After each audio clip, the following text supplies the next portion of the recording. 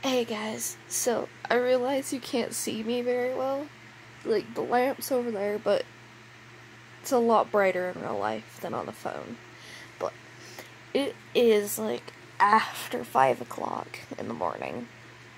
And this freaking foot of mine, I'm trying not to swear because I'm pissed and I hurt, and I tend to swear a lot when that happens. But this foot, it's been doing just fine. Like, obviously, if you bump it or anything, it hurts, but it's been doing just fine during the day.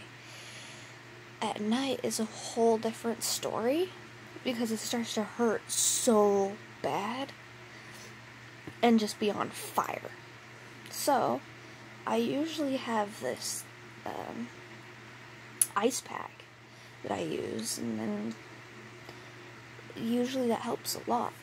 But at night, it gets bad enough that I have to take my pain pill. Now, the insurance only lets you get a very limited amount of those because it is technically a controlled substance. So I'm trying not to take them very much unless I absolutely have to. Here's the thing my foot's been bad enough at night that if I don't take one and a half of my pain pills, then I am up all night. Like tonight. I didn't take one last night or a few hours ago, whatever, however you want to say it. I didn't take one a while ago because I needed to get up around 9 to get a, a blood test for my kidney. So I didn't take one so I could get up because otherwise I ain't getting up till like 11 or 12. But I got maybe 20 minutes of sleep and I've just been sitting here or laying here tossing and turning all night just going ow I hurt even with the ice pack on. So it's been bad enough. I just got up and had to take my pain pill because it is hurting bad enough. And now I'm waiting for that to kick in because holy crap. It's like at night, a whole freaking switch just flips like that, and it's like, oh hey, I'm gonna be the biggest pain in the butt ever right now. Like, this happened a few days ago, where I maybe got half an hour of sleep, 40 minutes absolute max, in four days. Like, it was the fourth day and I was just sitting there that morning after getting about five minutes that whole night just tossing and turning. And I was just sitting here in tears, just bawling my brains out, going, Oh my gosh, this hurts so bad that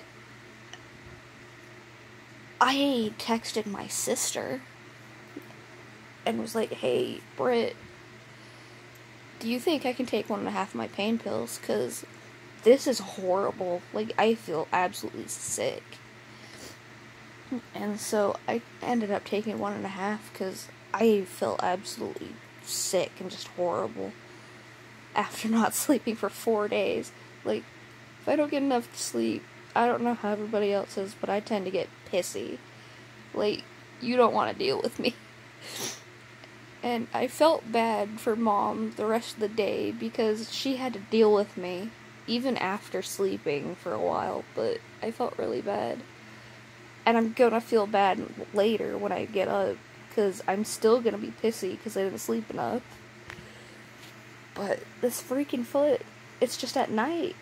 Like, during the day, it's great. It hurts maybe a tiny baby bit, but that's, a, that's normal crap. Keep some ice on it, keep it elevated, and it's just fine. Like, I've even been out like I was hanging out with my friend yesterday and it did just fine. It's just I lay down, get all comfortable, go ah, time for bed, time to sleep. And it just kicks in and it's like I am going to cause a whole world of problems right now. It's every single night. It's so frustrating. And I don't want to use all the pain pills because what if they don't give, what if the insurance doesn't let me get them when I get the next foot done? I need to have a backup because the first week after that surgery sucked, but that's a whole nother thing. But this turned into a very long video of me just ranting, but oh well, I needed to do that. My foot freaking hurts a lot, and I think I've done pretty good at not swearing very much, or at all. I don't know. I'm tired. But if I remember tomorrow, later, whatever, in a few hours or something, if I remember, I'll do a different video, like, with some uh, explanation or whatever. I don't know if I remember. I'm tired and I hurt. Good night, guys, or good morning, whatever. I'll see you later. Bye, guys.